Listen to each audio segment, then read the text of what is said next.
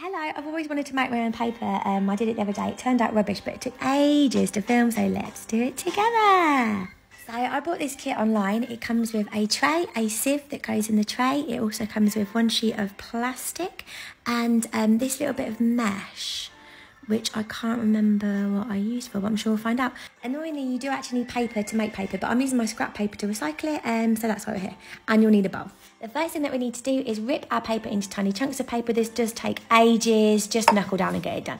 Um, we now need to turn our paper into mulch buried in hot water. You're meant to leave it for an hour. Don't add it to the beaker. I don't know who would do that. I've just done this to show you what not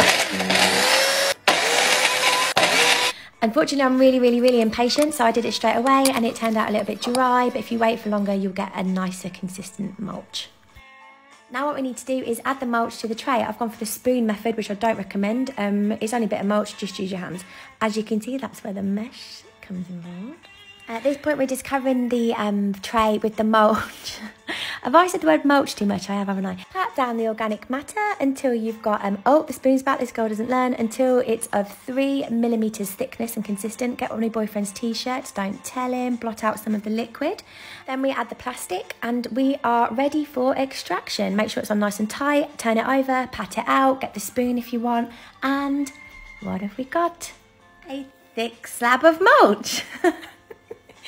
Uh, you can repeat this. Oh, I do like the texture actually. It does look quite nice. And um, you can repeat this as many times as you want, obviously.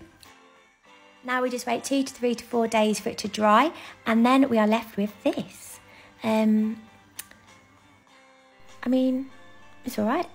If you want it to look better than this, which uh, is impossible, but you can give it a go, I would leave the mulch to rest before you put it in the tray so it's a bit more liquidy. And now it's just time to decorate it. I'll leave that one with you. I went for a lino print stamp because uh, I thought it kind of just fitted the raw vibe. And there we have it. That's how you make paper. I'll definitely do this again, but next time I will not be so impatient. Um, thank you for watching.